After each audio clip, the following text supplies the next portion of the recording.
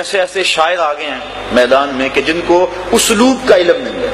मैं पिछले दिन एक शेर सुन रहा था, मैंने पहले भी इस पे बात की है। वो पता नहीं किस किस्म का वो शेर है, उसका आखिरी मफहूम है कि रब आखे, सोना मैं बख्शा का उम्मत, बस तू निक्की जी यहाँ कर दे। एक तो देखो कैसा बाजारी लफ्ज है। और नात में इसको जो है, वो किस तरह मुंदरज किया गया है। और फिर इस नात का जो तासर है, वो ये है कि रब बख्शना चाहता है, महबूब हाँ नहीं कर रहे रब कहते हैं, मैं बख्शूँगा, तू हाँ कर। जबकि मामला तो यह है कि महबूब अर्ज़ कर रहे हैं रब हबली उम्मती उम्मती। तो ये बाब मामला किधर और मामला किस तरह उलट के रख दिया गया? लेकिन पढ़ने वाले भी पढ़ रहे हैं और सुनने वाले भी सुबह अल्लाह पुकार रहे हैं। न पढ़ने वालों को समझ आ रही है, न सुनने वालों को समझ आ रही है। और अगर कोई समझने वाला पास बैठा है, वो बोलता नहीं, मैं बोलूँगा तो खुशक मुल्ला कहलाऊँगा। ये डर और ये खौफ उसको हक बयान करने से रोके हुए अपने भी खफा मुझसे हैं, बेगाने भी नाखुश।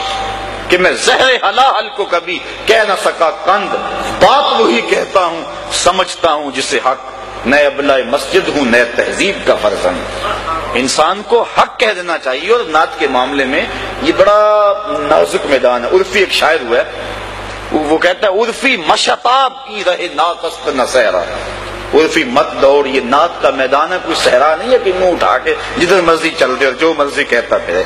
यहाँ कदम कदम पे एहतियात अदब गाहेज जेर आसमां अज अर्श नाजुक तर नफस गुम करदा मी आयत जुनेदो बा यजीदी जा। ये तो वो बारगाह है कि बा यजीद बुस्तामी रहमत और जुनैद बगदादी रहमत जब इस चौखड़ पे आते हैं तो सांसों को रोक के आते हैं। यहाँ तो सांसों का शोर भी बेदबी है। ले सांस भी आहिस्ता के दरबार नबी है।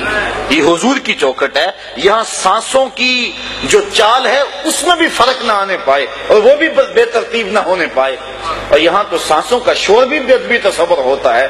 तो नात खान जब नात पढ़ रहा हो तो उसके तस्वर में हो कि मैं हजूर के मवाजा के सामने खड़ा हूँ।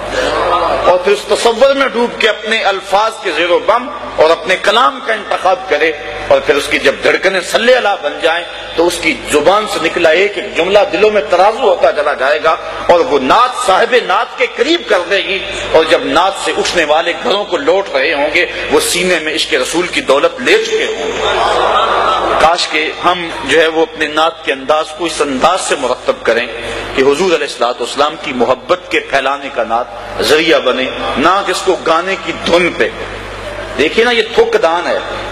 उसके अंदर अगर कोई बंदा किसी को दूध डाल के दे दे, मेहमान को पिएगा, भाई, मैंने धोया, सौ मरतबा धोया और फिर दिया, नहीं, उसकी वजह किस लिए हो चुकी है?